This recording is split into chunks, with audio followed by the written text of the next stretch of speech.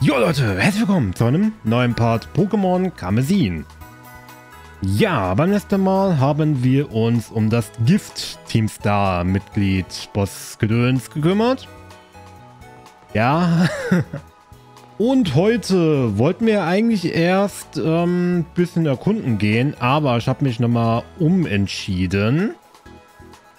Und zwar aus dem einfachen Grund, ähm, wir werden heute den Normal-Arena-Ort, also zumindest den Ort, wo die Normal-Arena sich befindet, aussuchen. Das ist dort oben.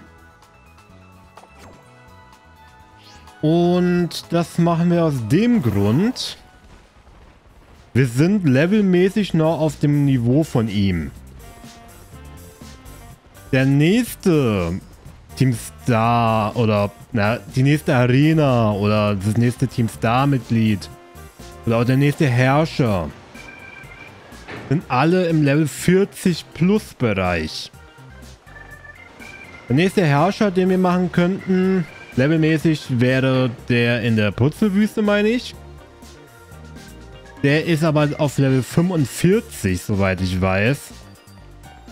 Und ähm, die nächste Arena nach der Normalarena sind alle, wie gesagt, auf Level 40 bis 50, also auch weit über unserem momentanen Level noch. Und äh, ich weiß gar nicht, ob ich hier gerade richtig bin. Da liegt auf jeden Fall noch ein Item. Das können wir einsammeln. Aber ob wir hier gerade richtig sind, weiß ich jetzt ehrlich gesagt nicht. Wir werden schon... Oh, warte mal, da liegt was. Aha. Da ist ja ein Stab. Das ist ja wunderbar. Haben wir schon mal einen mehr. Für unsere Sammlung.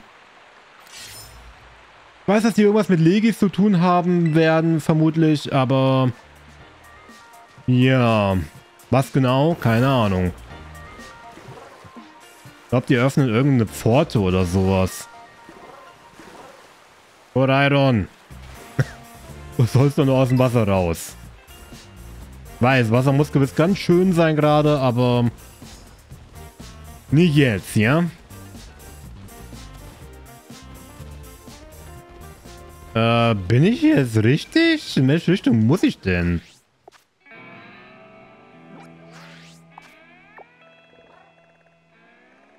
Ich muss da über den Fluss und dann aber geradeaus weiter. Äh, mein Orientierungssinn ist nicht vorhanden. So, ich muss irgendwie darüber. Kann ich auf, auf das Haus da springen? Irgendwie witzig. Ja, deshalb wollen wir uns jetzt erst einmal um andere Dinge kümmern. Als, ähm... Ja, ich komme ja schon drauf. Keine Sorge.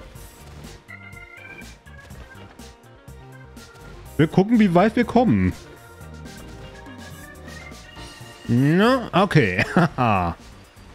Sehr schön.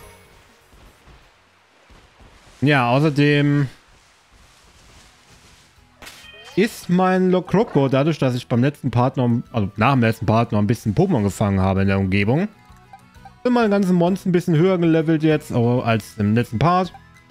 Lokroko habe ich schon auf Level 35 und das bedeutet, dass es sich bald entwickeln wird. Und das will ich gerne noch erreichen. Okay, das ist Level 16, das wird eh keine Erfahrungspunkte geben. Das bezweifle ich mal. Und ich glaube, da unten der Ort, das wird wohl der Ort sein, wo die Arena sich befindet. Und da wollen wir natürlich jetzt langsam hin. Aber erstmal kämpfen wir gegen diesen Backpacker.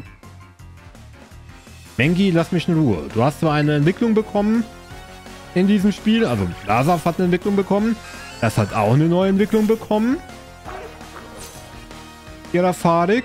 Der ist Level 17. Warum ist er so niedrig gelevelt? Wir sind in der Nähe von der fünften Arena. Der Pokémon über Level 30. Warum ist er nur Level 17? I don't get it, aber egal. Ja, Girafag ist ein tolles Pokémon, aber Ja. Hat nur ein Girafarik. Was wie gesagt kein Basis-Puma mehr in diesem Spiel ist.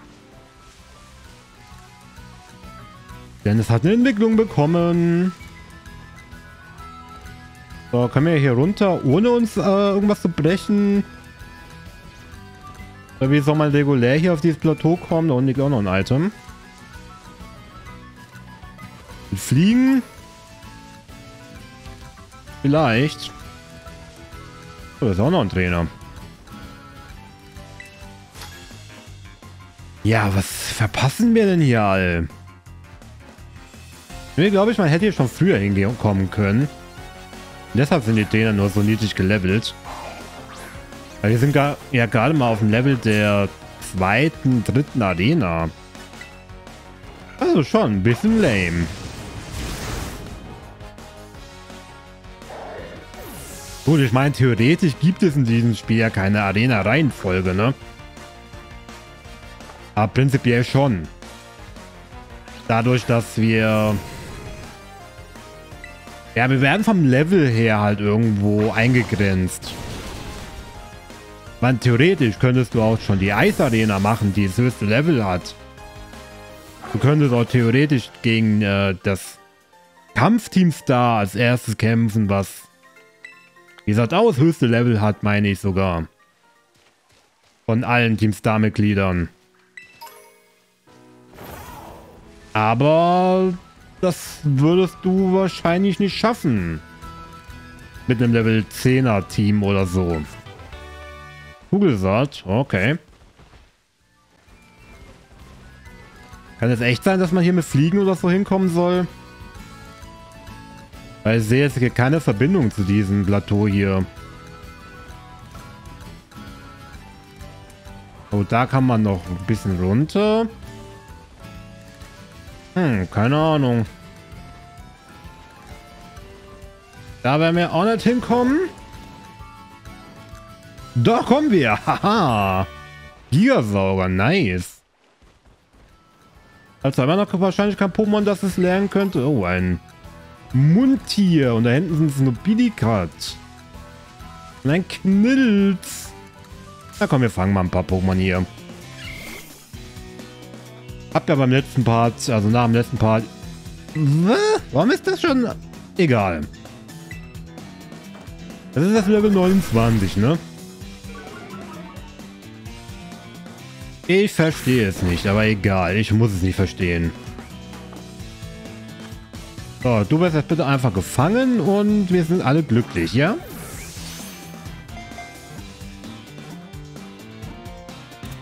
Ja gut. Ein Knilzipilz wurde gefangen. Ja, gegen die wilden Pummern. Das ist schon interessant. Manche Pummern auf dem gleichen Level geben halt wirklich kaum was an Erfahrungspunkte. Und andere hingegen äh, geben dir, keine Ahnung, oh, hier ist sogar Mauzi. Ich glaube, ich habe schon ein Mauzi. Ja, andere Pokémon geben einen, keine Ahnung, 1000. Während die anderen einem nur 100 oder so geben. Mein Monera und die ganze Entwicklungsreihe davon ist dann nochmal was ganz anderes, ne? Hallo, und das ist ein Tropius. Warum ist das so klein? Die Pokémon sind alle hier so... Als ob... Als ob Lokroko fast so groß ist wie ein Tropius. Komm, du bist Hanky. Du überlebst bestimmt ein, äh, ein Eschern. Ganz bestimmt tust du das. Ah. Okay. Ey, hörst du mal auf? Das ist wie Double Protect, oder nicht? Das ist eine Attacke wie Double Protect. Vor allem, ich habe noch nie gesehen, dass Rundumschutz äh, sinnvoll genutzt wurde. Habe ich irgendwie noch nie erlebt. Und ich glaube, die Attacke wurde in Gen 5 eingeführt. Oder? Kann sein.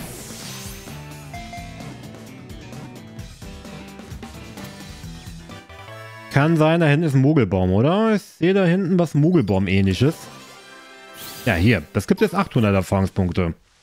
Ja, da hinten ist ein Mogelbaum. Nein. So, kommt nicht ins Team. Tobias wäre auch so ein Kandidat für eine Entwicklung, oder? Oh, und der Seller sogar. Warum gibt es hier so viele coole Pokémon? What? Level 35? Okay. Die Pokémon sind teilweise auf dem Level der Arena-Leiter. Die wir erst noch bekämpfen werden.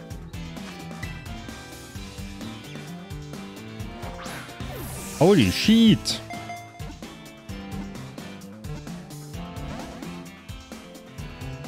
Warum, wächst, äh, warum bleibst du nicht drin, Tessella?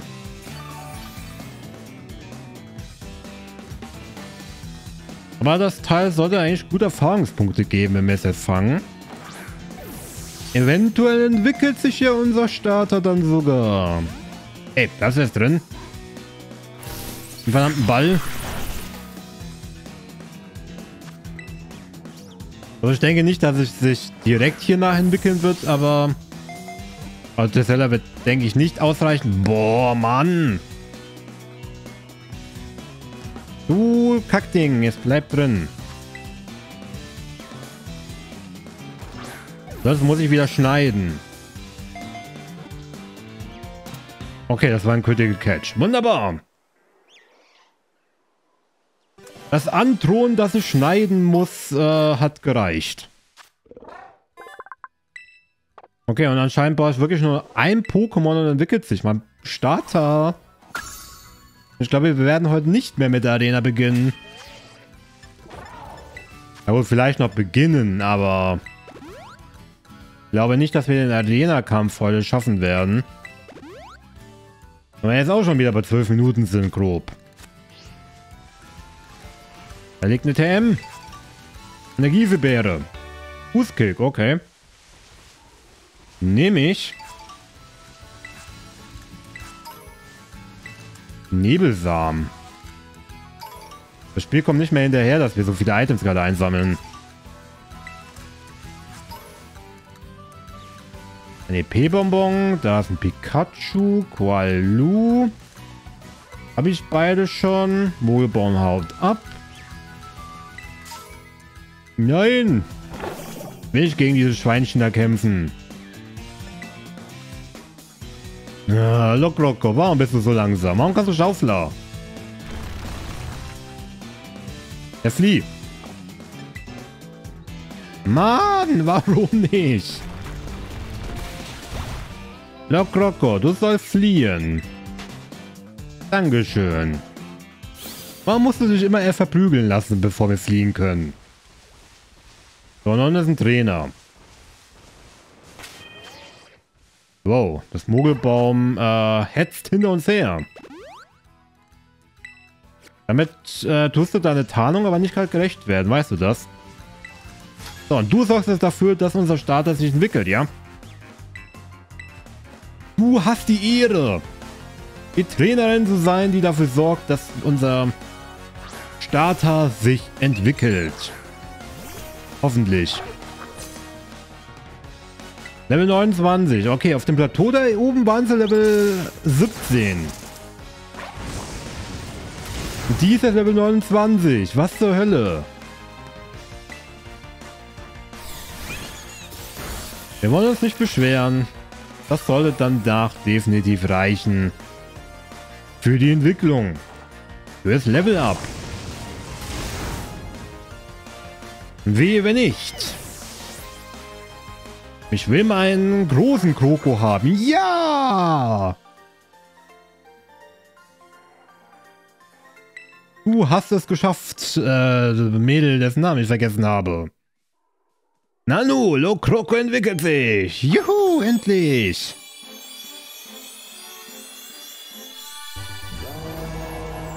Oh yeah.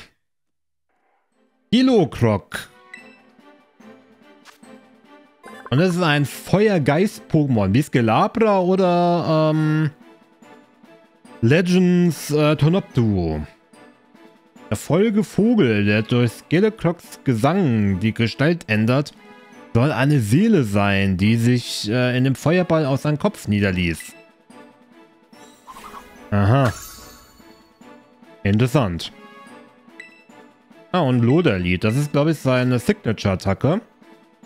Der Anwender spuckt insbrünstig lodernde Flammen, als würde er singen und versenkt das Ziel. Dadurch steigert auch der Spezialangriff des Anwenders. Ja. Dafür kann ein Elchern weg und ja, wir haben jetzt eigentlich äh, eine sehr gute Attacke. Auf unserem Starter. Das mal richtig cool aussieht. Meinen Augen sogar der ja, designmäßig beste Starter. Definitiv. Äh, ja, egal. Also ich kenne die anderen beiden Starter halt auch, wie die aussehen. Wenn sie sich entwickelt haben. Vogelbaum, du solltest einfach stehen bleiben, wenn du schon Baum sein willst. Echte Bäume können nicht laufen.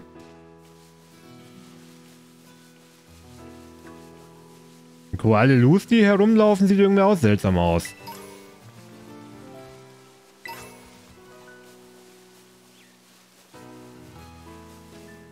Ein Patschi.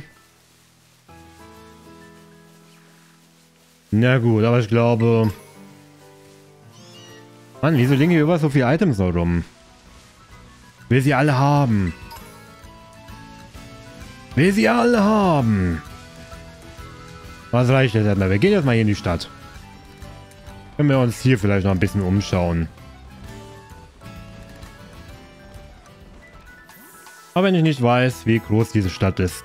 Die Einbildung ging jetzt zu schnell weg. Jetzt habe ich nicht aufgepasst, wie diese Stadt heißt. Aber das können wir gleich nachprüfen, ne? Wie heißt sie? Mesclara. Okay. Interessant. Ja, Chanel bringt auf jeden Fall viele Erfahrungspunkte. Das kann man auch als Glück bezeichnen.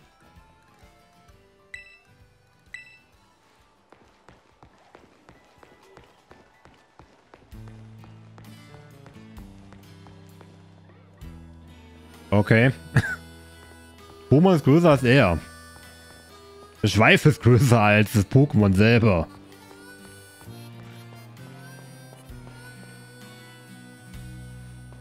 Das Lechonk ist größer als er fast. Naja, das Problem der Städte im Pokémon, man kann nirgendwo rein. Also Pokémon Kamezin und Popo. Gibt es irgendwas im Mülleimer? Nein, er leuchtet nur schön.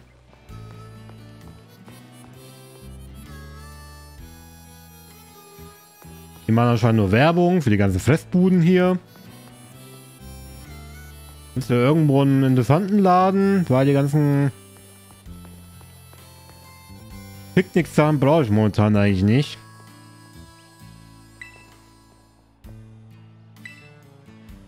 Sehr, sehr schön.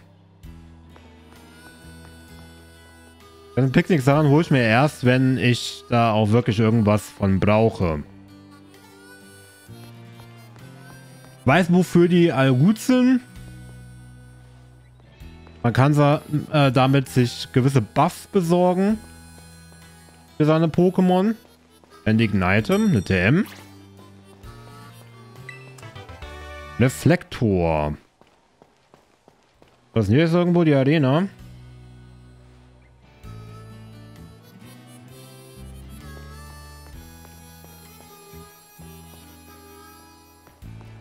Hä? Wird hier angezeigt.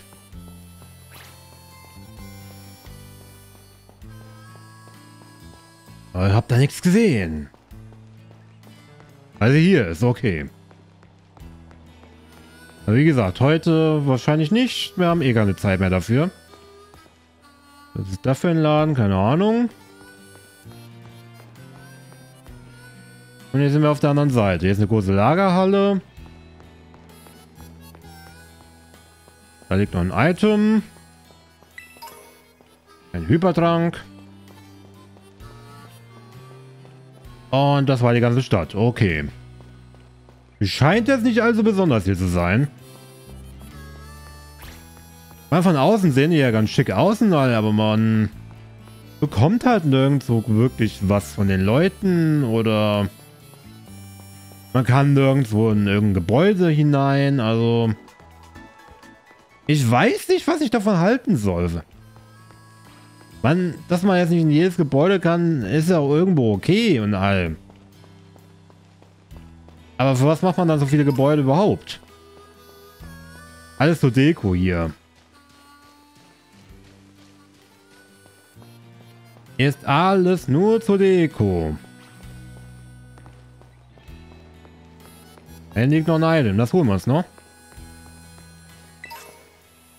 Ein Tellerstück. So Stück, du Terra. Torterra. Shelterra. Na gut, wollen wir zumindest nochmal in die Arena äh, hineingucken.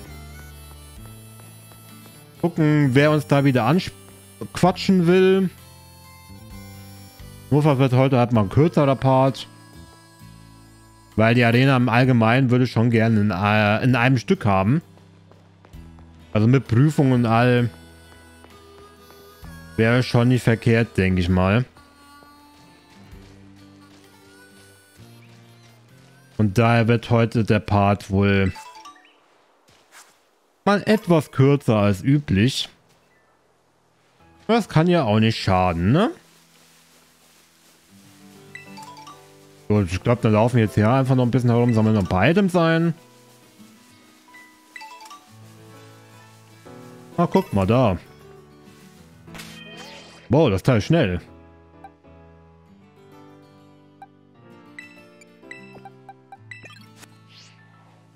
Tentache am Land. Das sieht so seltsam aus, mal im Ernst. Tentakra, ja. Tentacher mit Beinen. Also seine Tentakel sind einfach nur Beine. Er sieht so seltsam aus. Er sieht einfach nur seltsam aus.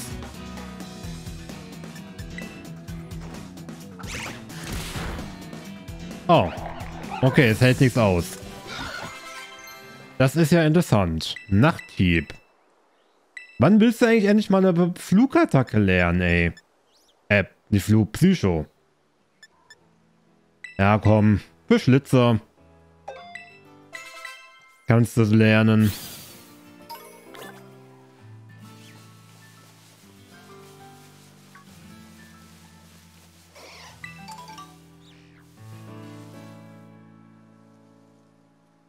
Das Teil bist du.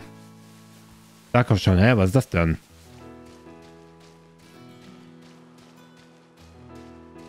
Na gut, ich glaube, dann machen wir jetzt einfach heute ein bisschen früher Schluss, wie üblich.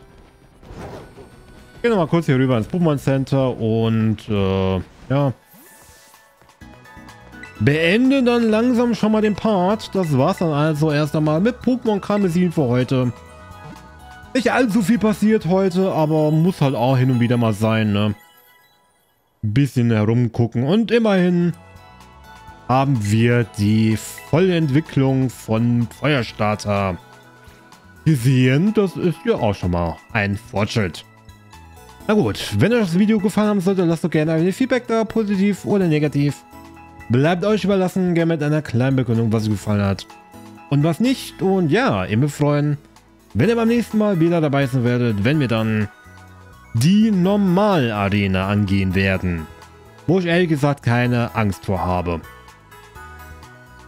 Grundlos oder nicht, wir werden es sehen. Bis dahin. Ciao, ciao, Leute.